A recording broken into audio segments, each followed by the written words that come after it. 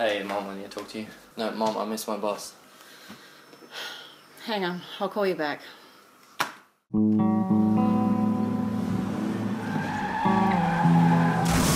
Wait, stop the car.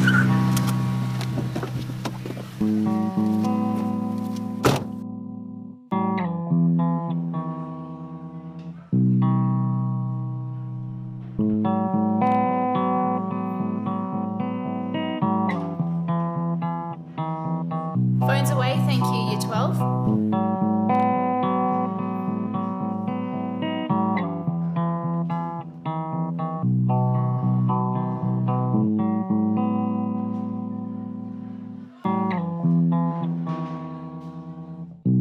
deadly school bus crash.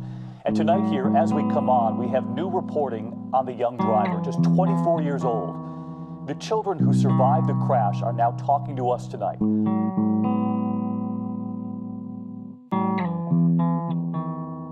What if I didn't take so long to get ready? What if I didn't miss the bus? I'm sorry I didn't say goodbye.